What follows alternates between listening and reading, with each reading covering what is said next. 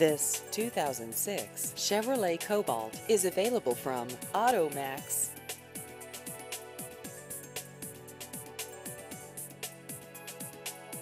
This vehicle has just over 79,000 miles.